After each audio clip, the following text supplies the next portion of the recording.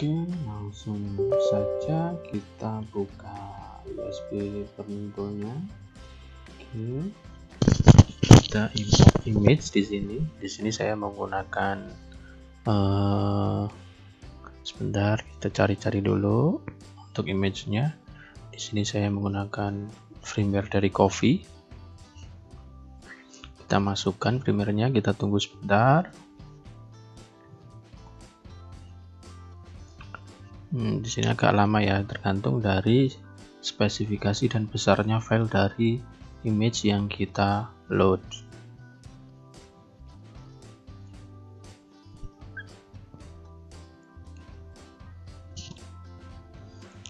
Oke, kita buang iris bootloadernya karena kita hanya langsung nge-flash.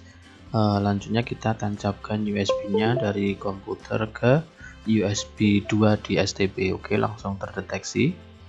Nah, di sini ada error rem code sama inisial inisialis DDR. Jadi nggak bisa di flash ya teman-teman. Uh, ada error. Untuk coba lagi, kita coba ganti firmware yang lain. Oke, kita buka lagi UBT, kita load, import image. Tadi pakai yang copy ya. Kita pakai pure hadas kita coba. Kita tunggu dulu.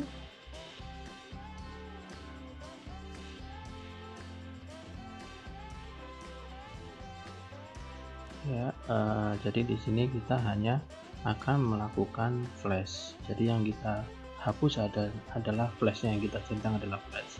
Kita start kita masukkan USB lagi ke uh, eh, STB nya Nah, kita di sini muncul lagi error yang sama ROM code. Jadi tidak bisa di flash ya teman-teman. Kebiasaan kalau saya mengalami error ini eh, yang bermasalah adalah di eh, bootloadernya. Kita coba lagi. Di sini kan STB tetap terdeteksi di UBT ya teman-teman ya. Nah, nah kita coba colokkan lagi USB nya ke STB nah di sini tetap connect. Ah, sukses ya teman-teman. Kita coba uh, flash menggunakan Pulpstone Pulpstone versi 2 nah ya Pulpstone versi 2 biasanya kalau di Pulpstone versi 2 juga ketika ada error di bootloader itu ROM code-nya error juga tetap nggak bisa di flash walaupun menggunakan Pulpstone.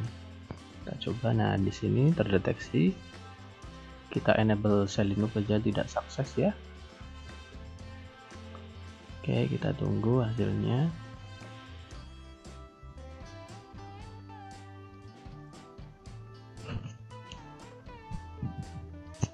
Oke, tetap nggak bisa ya padahal di UBT masih connect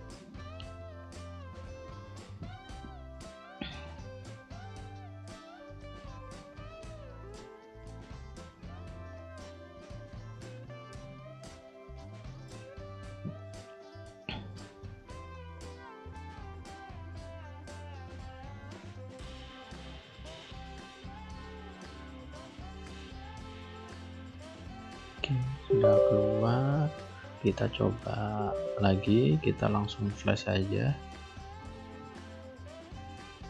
Kita pilih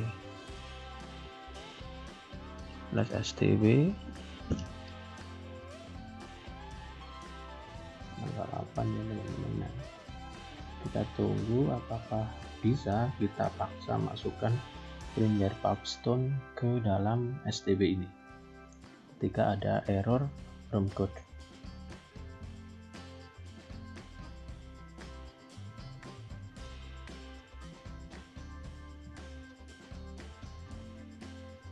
tunggu harap bersabar tulisannya seperti itu sih teman-teman. Nah di situ enable enable Selenium permissive nggak bisa ya nggak bisa. Jadi walaupun kita paksa masukkan firmware lain ke dalam STB ini tetap saja nggak bisa. Karena memang ada error di bootloadernya.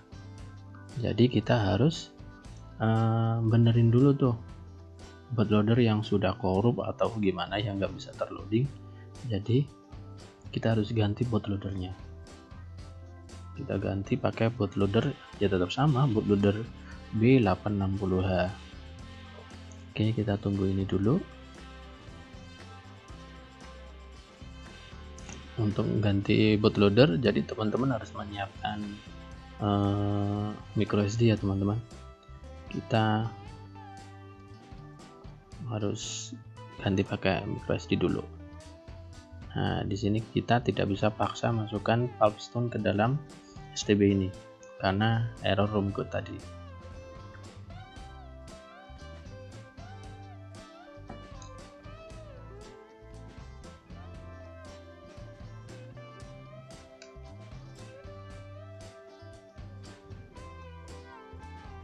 Oke, kita sekarang bikin bootable-nya.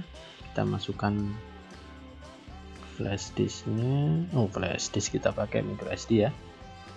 Kita pakai bootcut maker ya teman-teman. Kita pakai bootcut maker dari Pubstone. Oke.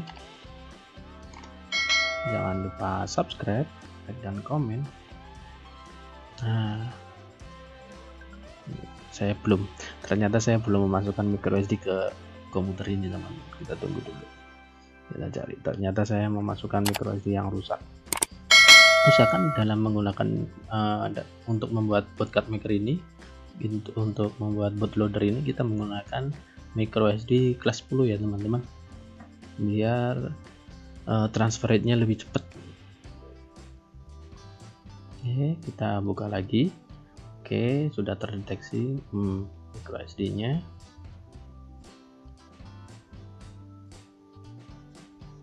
Nah, sudah terdeteksi kita checklist. Yes, kita buka bootloader. Kita pilih bootloader.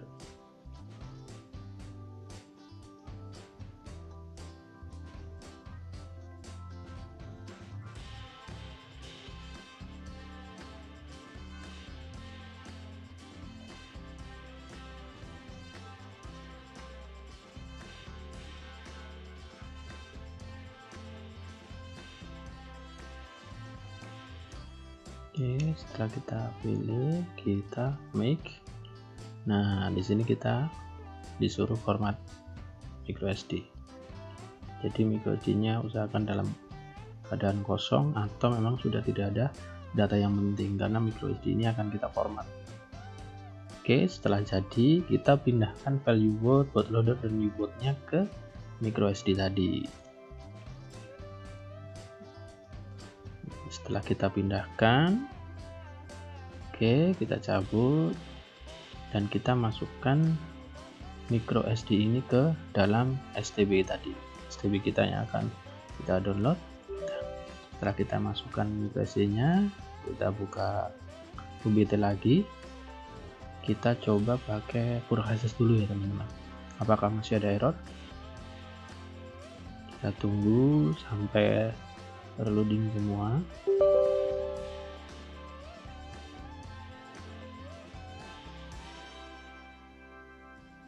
Jadi kita flash dulu pakai Virhadas STB ini kita flash dulu pakai Virhadas oke kita RS bootloadernya kita uncheck.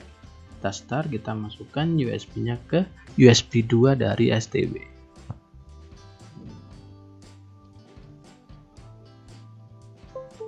oke. Nah, di sini langsung formatting. Nah, di sini uh, berjalan ya teman-teman. Kita udah 7%, kita tunggu. Oke. Oke, video kita percepat. Karena dalam format ini uh, memakan waktu yang lumayan lama sekitar 10 sampai 15 menit. Jadi video ini saya percepat saja. Oke, kita percepat sampai flash flashnya berhasil. Flash dengan firmware dari Hadas.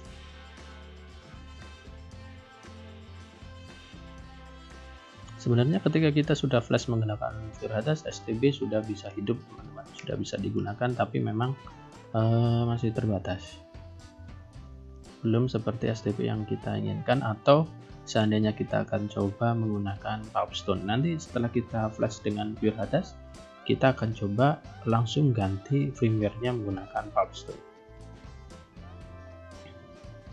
sebenarnya di sini uh, kami juga masih punya banyak firmware yang harus dicoba dari teman-teman kreator firmware. Saya mengucapkan banyak terima kasih karena sudah uh, membuatkan begitu banyak firmware yang bertebaran di internet sehingga kita bisa menggunakannya tidak bingung apalagi sekarang uh, sekarang Upstone sudah tutup ya sudah kita tidak bisa uh, registrasi lagi jadi firmware terbaru dari Upstone tidak bisa kita gunakan secara maksimal. Tapi tenang saja, masih banyak opsi firmware. Ada, ya kita tinggal mau atau tidak mencari di internet aja seperti itu. Karena di internet gudangnya banyak firmware. Gudangnya firmware ada di internet. Kita tinggal pilih apa yang kita inginkan sesuai yang kita mau. Kemudian kita flashkan ke STB kita.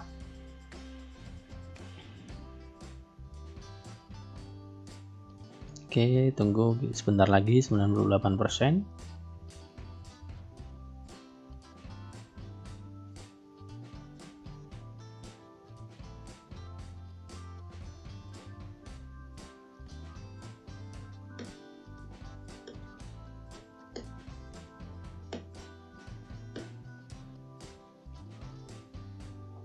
Oke, jangan lupa buat teman-teman yang belum silahkan subscribe dan tekan tombol lonceng ya teman-teman. Oke di sini uh, kita flash sudah berhasil. Sekarang kita tinggal stop dan cabut USB dari STB kita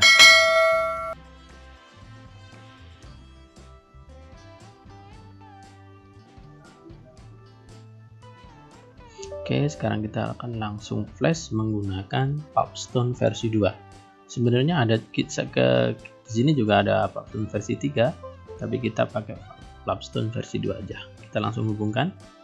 Kita tambah jumper ya.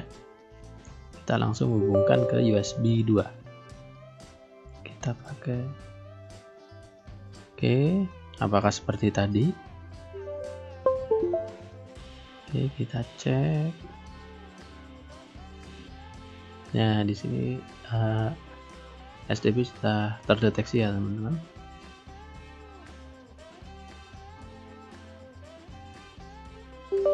Coba.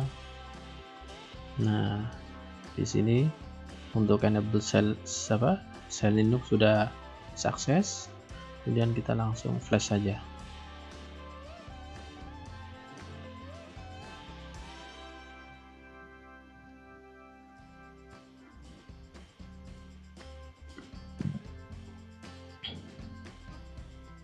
Oke, kita mulai flashingnya kita tunggu harap bersabar karena memang memakan waktu yang cukup lama.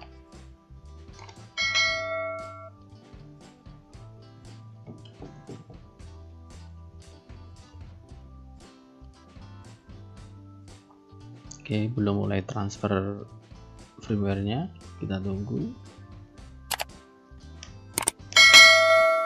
Oke, nah Nah, di sini oke teman-teman sudah mulai transfer ya. Jadi flash ini sudah mulai berjalan. Uh, kiranya cukup sekian ya. Jadi tadi uh, ada error ROM code atau inisial DDR dalam STB ketika kita akan flash STB kita menggunakan firmware lain itu biasanya biasanya itu yang terjadi kendala atau yang korup itu adalah bootloadernya di sini kita mensiasati bootloader kita, bootloader dari B860H kita taruh di microSD dulu dan kita masukkan microSD itu ke dalam STB. Jadi STB itu akan booting menggunakan bootloader yang ada di microSD dulu. Tapi nanti seandainya ini sudah kita flash dan kita cabut microSD-nya, STB itu akan mati tidak mau hidup jadi ketika kita mau menghidupkan harus menggunakan STB yang ada bootloader dari B860H dan di video selanjutnya kita akan membuatkan tutor bagaimana memindahkan uh, bootloader dari microSD ke dalam STB sehingga STB itu bisa berjalan mandiri tanpa microSD. Kiranya video tutor ini sudah cukup sekian.